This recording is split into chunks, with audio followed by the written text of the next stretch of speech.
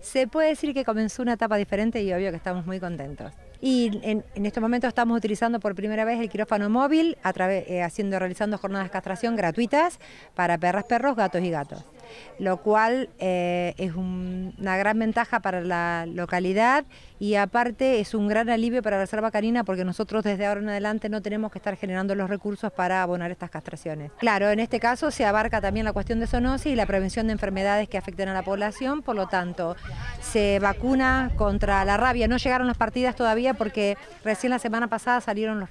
radiogramas informando de las vacunas y lo que sí ya estamos haciendo hoy es desparasitando a todos los animales que se acercan hasta el quirófano. Eh, además está decirlo que bueno, las características del quirófano móvil nada que ver con lo que nosotros utilizamos, empezando por la que tiene todos los, insumos necesarios para que se pueda proceder efectivamente y aparte porque tiene también todo lo necesario en el caso de que existiera algún tipo de emergencia, eh, tiene todos los complementos. Y otra de las ventajas es que tenemos dos veterinarios trabajando arriba del quirófano, por lo tanto siempre hay uno que esté atendiendo un animal y otro que esté atendiendo nuestras necesidades. Eh, nosotros estábamos castrando por 150 eh, pesos por animal. al margen de los 150 pesos por animal, Reserva Canina también necesitaba todos los recursos para todo lo que sean eh, los productos de limpieza, los descartables y todo lo que se utilizaba este, en la jornada. Más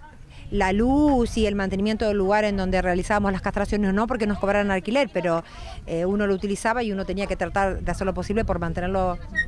Así que no, nosotros nos ahorramos bastante y eso nos viene muy bien porque lamentablemente todas las cosas aumentaron, sobre todo todo lo que tiene que ver con drogas de uso veterinario por el aumento del dólar y no estábamos pudiendo llegar a eso para, para la reserva. O sea, nosotros tenemos muchos animales viejos y que tienen medicación en forma permanente, más todos los animales que tratamos en la vía pública y bueno, nos estaba costando mucho juntar los recursos, así que ahora lo que no vamos a tener que invertir acá lo vamos a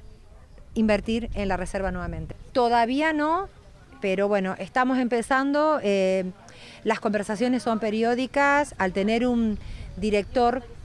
que es Ramiro y que es muy accesible porque, te digo, hasta por WhatsApp nos estamos manejando, eh, a nosotros nos alivia mucho, o sea, mm, aparte tiene el conocimiento, que eso es, es fundamental, o sea, estamos hablando con una persona que con una sola palabra vos lo podés, le podés hacer entender lo que está pasando porque, bueno, porque es veterinario. Eh, la próxima jornada va a ser en la vecina de la Estación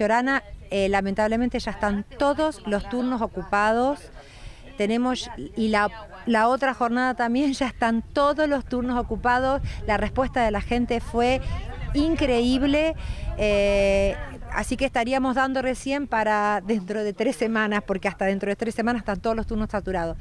Eh, de pronto, si existe alguna emergencia, como por ejemplo una perra en celo, eh, tiene prioridad, así que se tiene que contactar con nosotros, con la gente de Reserva Canina, 156 39 184 mi número, y bueno, esas perras sí van a ser castradas. El resto de los animales también se tienen que contactar con nosotros o a través del Facebook o en la esquina de agua y ya estamos dando turnos para dentro de tres semanas.